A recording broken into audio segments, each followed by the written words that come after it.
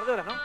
Es así, eh, nosotros ahora en asamblea decidimos liberar dentro de media hora, vamos a liberar eh, más o menos media hora, 40 minutos, y bueno, hasta eh, la llegada de nuestros delegados, que se fueron a Alem y, y que la patronal no se presentó a la mesa de diálogo.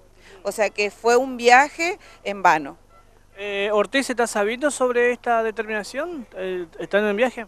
Sí, él nos autorizó a nosotros que hagamos asamblea y nosotras, eh, que somos la base, somos lo que hemos decidido así.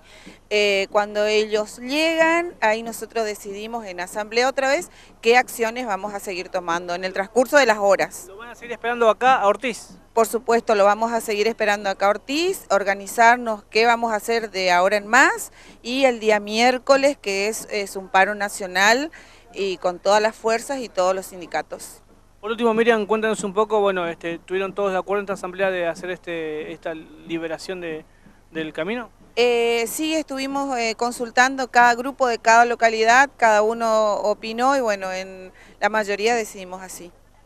¿Puede ser el factor quizás del desgaste ya de estar muchas horas que lo hayan tomado esta determinación de liberar la ruta eh, por presión de los automovilistas, turistas y demás? Eh, no es, no es del desgaste, sino que también por ética nosotros respetamos también al ciudadano, eh, no nos vamos a enfrentar los ciudadanos entre sí, aquí no hubo voluntad política de resolver y descongestionar la situación, así que bueno, ahora vamos a esperar a ver qué dicen nuestros delegados cuando llegan.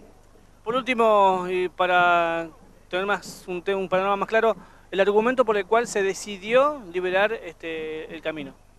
El argumento es la solidaridad con nuestra sociedad. Simplemente eso. Nosotros eh, quizás nos critican, eh, pero a veces hay que llegar a medidas extremas como, como la que eh, realizamos el sábado en El Dorado y hoy todo el día aquí en Puerto Iguazú.